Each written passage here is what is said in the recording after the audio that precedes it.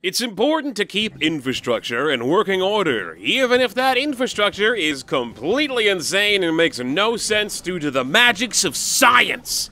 We're taking a quick peek at Bridge Constructor Portal. Bridges. They're one of the world's most natural conundrums. How does someone transport something across a large gap without falling into it themselves? Well, they use a bridge. But building a bridge that won't collapse under its own weight can be a real problem. So much so that people find it enjoyable enough to make entire games focused around just building bridges. From Bridge It Plus's train bridges to the minimal art design of Poly Bridge and the creatively titled Bridge Constructor, there is quite the audience for the architectural design of crossing large gaps. So much so that Bridge Constructor's developers, Clockstone Games, began thinking about just what all they could do with bridges and what could even be a bridge in the first place. They've gone back in time to the medieval time period and gotten fancy with different stunts, but now they've started thinking outside the box. They've started thinking with portals.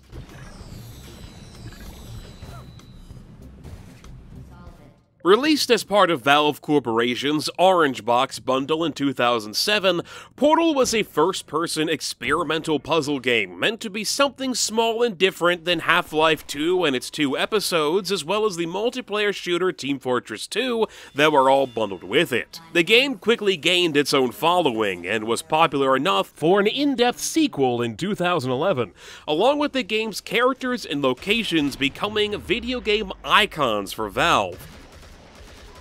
Portal has spawned its own smaller experimental titles, such as The Lab in 2016, along with fan made projects into indie games heavily inspired by its mechanics and design.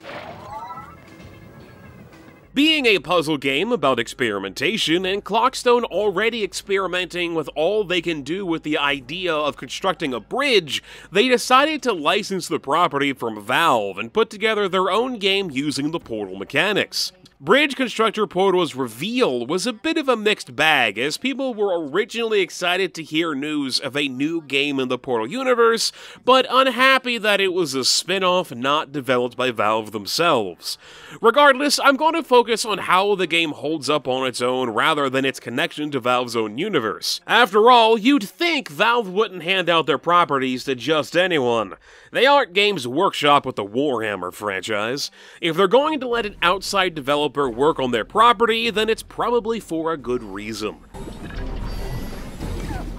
Clockstone Games' attempt at merging the two different puzzle styles of Bridge Constructor and Portal together is to generally be commended and would make for a rather unique experience within the genre. However, while the game fully embraces the themes of Portal's madhouse, that is, the Aperture Science Research Facility, it doesn't feel like it fully embraces the mechanics. When it comes to theming, Bridge Constructor Portal is on point. Graphically, the game takes Aperture's clean and generally monochrome design and transports it rather well to both the 2D and 2.5D dimensions. The game also does a decent job at capturing Portal's writing and humor. There is somewhat of a story to this bridge building game. You, the player, are an employee of Aperture Science who's been reassigned to their vehicle testing division. Under the threat of being literally fired, you accept this new posting and attempt to prove yourself as an invaluable member of the company. Or else. That's pretty much it. It's not a lot to go with, but it's more than I figured the game would have and has that semi dark humor Portal is known for. GLaDOS, the artificial intelligence in charge of Aperture Science in the Portal games, also makes an appearance throughout Bridge Constructor Portal, but more as her persona from the first Portal game than her bitter and vengeful version from Portal 2. Again, Clockstone does a pretty good job keeping GLaDOS's informational and slightly cheery persona full of an underlying and utter contempt for the player, and a complete lack of care for the safety of other employees. To proceed with the next test, please twirl your beanie propeller while balancing on one leg. For safety, turn a little more toward the security camera. Yes, just like that. She'll pop in here and there for a joke or to give some kind of instructions, but as the game progresses, her lines become few and far between. That's one of the things with Bridge Constructor Portal. It's a rather long game for what its mechanics are. There are a total of 60 levels spread through six different chapters of escalating difficulty, all revolving around the construction of bridges. How players go about building these bridges is rather similar to the other games in the series. Scattered around a level are anchor points that are built into the solid walls of the facility. These anchor points are the most important locations within a level since they really determine where and how a bridge can be built and are the best way to make a solid structure. And that's where the real challenge is. Bridges aren't just going to support themselves, and it's up to you to construct something that won't buckle under its own weight. The Bridge Constructor games have always been rather open for how players can complete their levels, mostly following the path of whatever works, works. Unlike games in the series in the past, however, Bridge Constructor Portal removes a lot of limitations previous games made the players have to deal with, while limiting different things on its own. Instead of selecting a material to use from a list of building supplies, with each material having its own weight, cost, and overall usefulness, this time around there are only two things to build with. You've got either your basic support beam or suspension cables, and that's it. There's also a lack of a budget now as well. While before, players had to take material costs into account while building their structures in order to not go over a limited budget, Clockstone removed any kind of limited costs this time around. The game still keeps tabs on how much money everything in a level costs, and there's a little joke at the end of each level on how much you've wastefully spent, but there's no overall limit that you have to stay within. As long as whatever you're building fits within the level, you can build as large and complicated of a structure as you can imagine, or that your PC can handle. As levels got more complex and my structures became larger and larger, I began to notice the game chugging while zooming in and out while in build mode. The farther I zoomed out, the more of the level I could see, but the worse the frame rate got, which could make trying to follow what's going on a bit more difficult.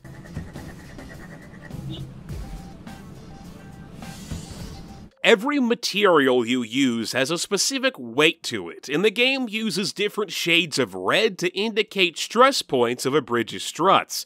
That way players can figure out where they need to reinforce. Following the actions going on while a bridge is being tested, either just sitting on their own or having a vehicle cross it, is rather important and more difficult to do close up at a lower frame rate. Vehicles themselves have weight as well, so not only do your structures need to support themselves, but also anything going across them. While there are only a few anchor points within a level, you can kinda cheat things a bit by building on a level's geometry itself. The main thing you're trying to build these bridges over is poisonous water, which will not only destroy vehicles that fall into it, but also any kind of structures that touch it. Any solid bit of ground that exists within a level, however, is fair game for building a support on, even if you can't connect it to that via an anchor point. The main thing to keep in mind is that without an anchor point, things tend to move around a bit. Bridge Constructor Portal has an annoying little thing within it that I've come to call the bump. The bump is a simple concept.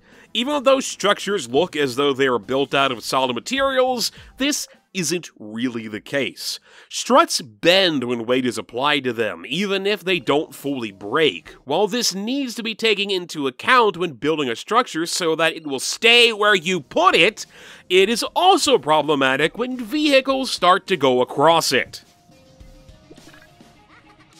Being themed after Portal, the game incorporates many of the puzzle elements from that game, portals, weighted cubes, buttons, lasers, poisonous water, speedy and bouncy gel, and energy spheres all make an appearance throughout the game. If you've played any of the Portal games, then you may be familiar with how portals work, mostly with how momentum travels as an object goes from one portal to the next.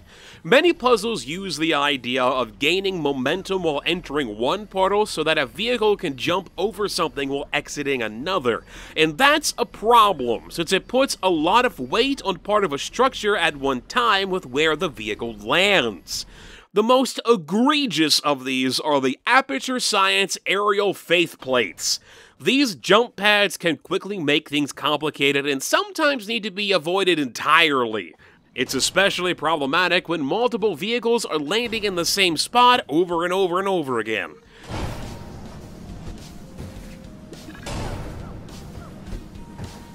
There are two ways to complete a level in Bridge Constructor Portal, either with a singular vehicle or with a convoy. Each level has a different number of vehicles that will make up its convoy, and will spawn them one at a time within the level to send across your structures in hope of having all of them reach their destination. Due to how da bump works and how it can cause stress on parts of a bridge that had previously worked fine for a single vehicle, it may take a bit of a rethink to complete this objective.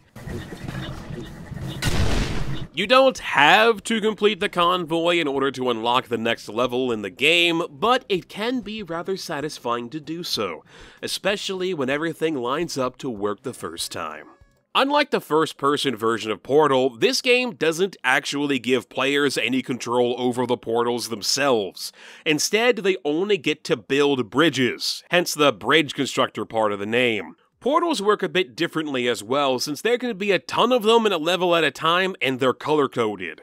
A vehicle entering a blue portal will exit from a second blue portal.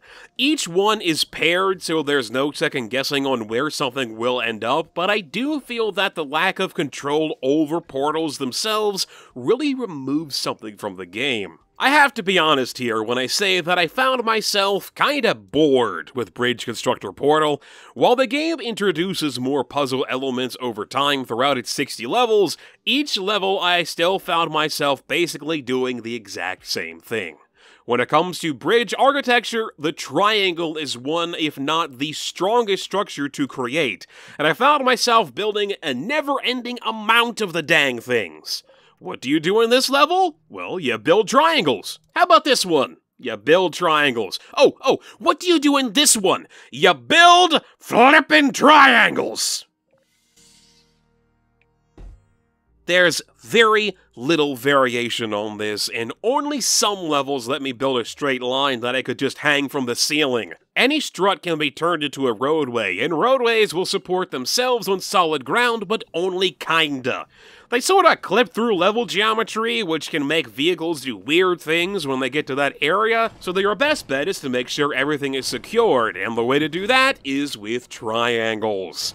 This isn't a bad thing necessarily, since it does help teach people about architecture, and the game does have an index called the Library of Best Practices to help give players an idea of how they should construct their bridges. But throughout my time with the game, I found myself doing the exact same thing almost the exact same way from level 1 to whenever I got tired of the game 14 hours later.